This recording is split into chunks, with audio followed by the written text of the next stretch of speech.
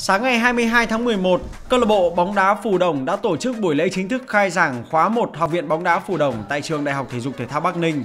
Tuân thủ theo yêu cầu phòng chống dịch của Ủy ban nhân dân thành phố Từ Sơn, Phù Đồng FC tổ chức một buổi lễ nhỏ có sự góp mặt của đại diện ban lãnh đạo câu lạc bộ bóng đá Phù Đồng, ban lãnh đạo Học viện bóng đá Phù Đồng cùng với các quý phụ huynh. Tại buổi lễ, ban lãnh đạo Phù Đồng chia sẻ về những điều ấp ủ, mong mỏi về học viện và hy vọng những sự phát triển mạnh mẽ trong tương lai ngay sau khi giành được tấm vé thăng hạng trở lại giải hạng nhất quốc gia năm 2021. Phù Đồng FC cùng với ông Hoàng Anh Tuấn đã xây dựng chiến lược phát triển học viện bóng đá Phù Đồng với mục tiêu chính là đào tạo bóng đá trẻ, cung cấp nguồn nhân lực cho đội 1, khám phá ra những tài năng cho nền bóng đá Việt Nam. Câu lạc bộ chuyên nghiệp nào cũng phải có cái hệ thống đào tạo trẻ. Thì à, tôi vào đây cũng được một năm rồi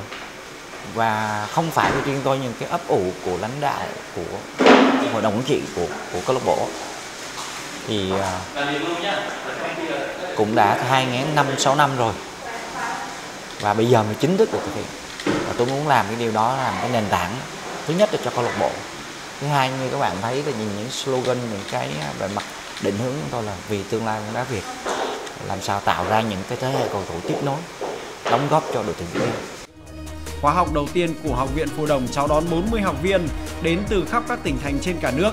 Giám đốc học viện ông Hoàng Anh Tuấn đã lên kế hoạch về đào tạo, huấn luyện, dinh dưỡng để có được sự chuẩn bị tốt nhất cho học viên. Bên cạnh đó, Học viện bóng đá Phù Đồng đặt mục tiêu là đơn vị tiên phong đón đầu các xu hướng công nghệ trong công tác đào tạo, huấn luyện để đưa học viện ngày càng phát triển vững mạnh hơn nữa.